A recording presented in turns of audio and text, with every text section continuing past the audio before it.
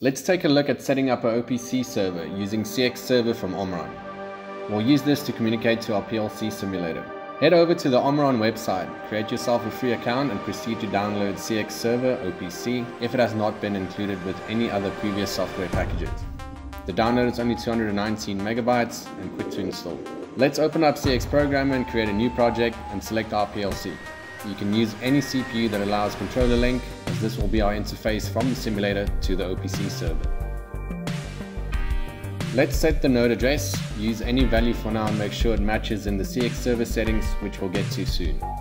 For this example I'll only be making a simple start, stop and system running latch. Start being set at input 0.0, stop set at address 0.1 and as a temporary I'll set my system running bit to 1.0. Head over to CX Server located at the bottom in the Windows System tray. Right click CX Server and select CX Server Project. Let's create a new project. I'll name mine FIO and select Edit Project.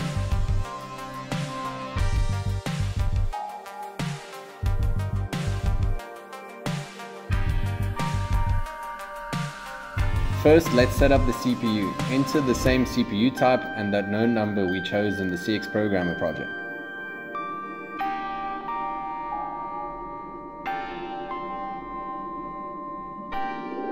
Head into the points folder and let's create a new group. I'll be naming this FIO underscore tags. This group name will be used later in Factory IO to sort and import these tags we'll be creating.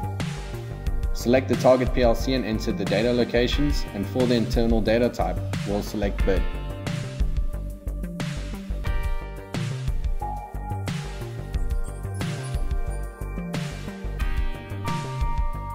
Once all the data points are added, head to File and close the window. The server should now be active and waiting for clients. Let's head over to Factory IO and we'll need to create a simple scene to get some tags to configure the OPC drive. Standard panel with the start and stop button, keeping in mind that the stop button is normally closed. Let's get these components attached and labeled. Once we're in the driver configurator, scroll down to the OPC client DA UA.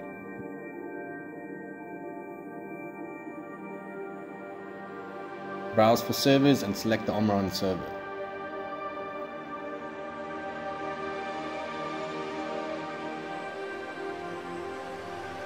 We'll then import the points we created earlier, enter the group name and let's filter those tags. After filtering is completed, we can view if all our tags were imported successfully.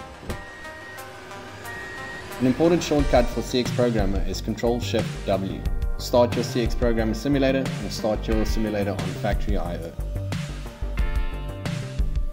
If everything was configured correctly, communication should now be up and running.